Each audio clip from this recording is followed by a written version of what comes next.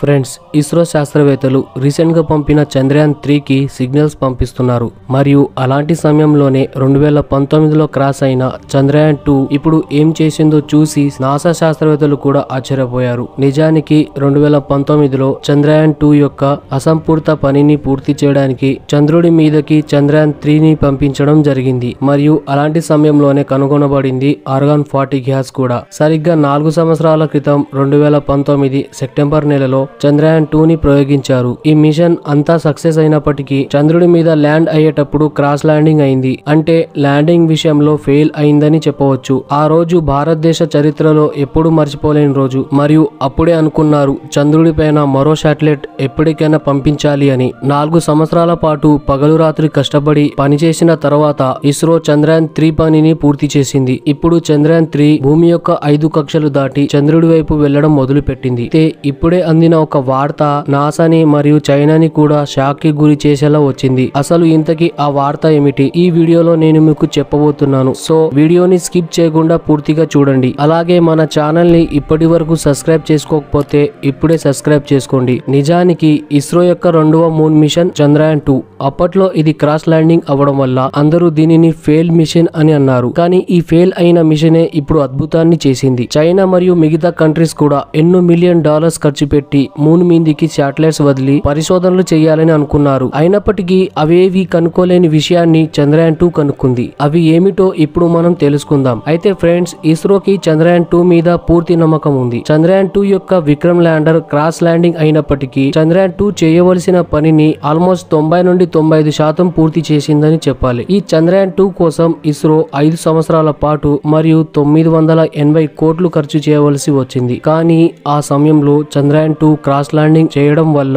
NASA European space centre మరియు China ఇవన్నీ కూడా చంద్రయాన్ టూ ఫెయిల్ అయ్యిందని నమ్మాయి. అందుకే ఈ మిషన్ అయిన కొన్ని రోజుల తర్వాత జనాలు దీని గురించి మాట్లాడుకోవడం మానేశారు. చంద్రయాన్ టూ యొక్క విక్రమ్ ల్యాండర్ చంద్రుడిని ఢీకొట్టి అక్కడే పడిపోయింది. అయితే దాని లోపల ఉన్న పరికరాలు కూడా పనిచేయడం ఆపేశాయి. కానీ ఈ మిషన్లో ఇస్రో కేవలం ల్యాండర్ని మాత్రమే పంపలేదు. ల్యాండర్ని తీసుకెళ్ళిన ఇంకొక ముఖ్యమైన భాగం ఆర్బిటర్. చాలా ఆశ్చర్యకరంగా ఇప్పుడు ఇది చంద్రుడి చుట్టూ వంద ఇంటూ వంద విస్తీర్ణంలో తిరుగుతూ ఉంది. ఇక్కడే చాలా ఆశ్చర్యకరంగా ఇస్రో ఆర్బిటర్లో కేవలం ఒకటి రెండు కాదు ఏకంగా ఎనిమిది అడ్వాన్స్డ్ టెక్నాలజీ పేలోడ్స్ని అమర్చింది. సో దీని పని ఏమిటంటే చంద్రుడి పైన ఉన్న పొరలని మాత్రమే కాకుండా దాని కింద కూడా ఏముందో స్కాన్ చేసి కనుక్కోగలరు. పైగా ఈ ఆర్బిటర్ చంద్రుడి చుట్టూ ఏడు పాయింట్ ఐదు సంవత్సరాల వరకు ఎలాంటి అలసట లేకుండా చంద్రునికి సంబంధించిన డేటా ఇస్రోకి పంపిస్తూనే ఉంటుంది. కానీ చంద్రయాన్ టూ క్రాస్ ల్యాండింగ్ అయిన తర్వాత ఈ ఆర్బిటర్ గురించి అందరూ మర్చిపోయారు. కానీ అదే ఆర్బిటర్ ఇప్పుడు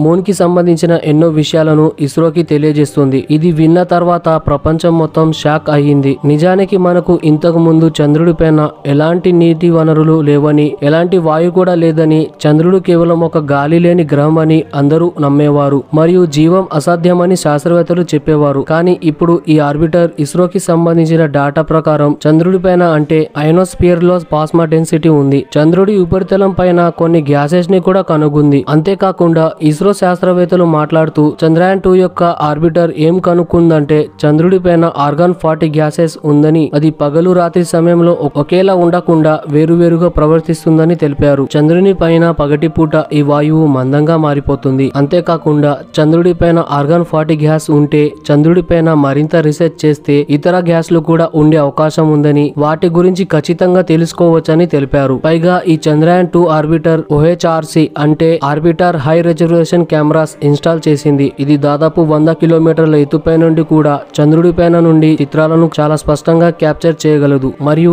చంద్రుని పై నుండి సేకరించిన డాటా మొత్తాన్ని తీసుకొని చంద్రుడి పైన ఉన్న ఉపరితలాన్ని బట్టి మ్యాప్ని కూడా తయారు చేయగలదు. చంద్రయాన్ టూ ఆర్బిటర్లో ఎక్స్రే పెట్రోమీటర్ని కూడా అమర్చడం జరిగింది. దీని సహాయంతో చంద్రుడి పైన ఉన్న ఖనిజాలను కనుగోవచ్చు. మన చంద్రయాన్ రెండు వేల ఒకటిలో చంద్రుడి పైన ఉన్న నీటిని కనుగొంది. కానీ చాలా మంది శాస్త్రవేత్తలు ఈ విషయాన్ని ఒప్పుకోలేదు. కానీ ఆ తర్వాత ఇది నిజమేనని నిరూపించబడింది. చంద్రయాన్ టూ ఆర్బిటర్ కూడా మంచు నదులను కనుగొంది. సో ఇది ఫ్రెండ్స్ చంద్రయాన్ టూ మిషన్ గురించి. వీడియో గనక నచ్చినట్లయితే ఖచ్చితంగా లైక్ చేయండి. మరియు మీ ఫ్రెండ్స్కి షేర్ చేయండి. అలాగే మన ఛానల్ని సబ్స్క్రైబ్ చేసుకోండి. Thank you friends. Thank you for watching.